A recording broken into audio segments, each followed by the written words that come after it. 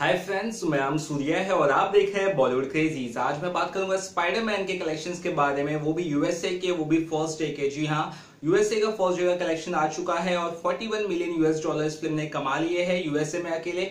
यानी कि इस फ़िल्म का जो हिंदी में sorry Hindi I mean crores में कलेक्शन अगर हम आके तो 271 करोड़ इस फ़िल्म ने ऑलरेडी कमा लिए हैं और फ़िल्म अच्छी तरह से यूएसए में जा रही है और इसका मतलब ये भी है कि 42 मिलियन डॉलर अगर पहले दिन में ही आ गए, यानी कि 271 करोड़ तो तीन दिन का कलेक्शन 100 मिलियन डॉलर के ऊपर हो जाएगा। यानी कि आपका जो कलेक्शन हम बात कर रहे हैं टू उसका तीन गुना बढ़ जाएगा। यानी कि 800-900 करोड़ ये पहले तीन दिन में ही कमा लेगी, जो मेरे हिसाब से फ़िल्म के लिए बहुत अच्छा बिज़नेस होगा। इंडिया में भी धमाल करी और इंडिया के आंकड़े जैसे आएँगे, वो मैं आपको ज़रूर बताऊँगा। आपको फ़िलहाल कलेक्शंस कैसे लगे? यूएसए के फ़र्स्ट डे के जो आ चुके हैं अभी तक, जैसे मैं मैंने कहा 42 मिलियन यूएस डॉलर यानी कि टू करोड़, आप ज़रूर बता सकते हैं।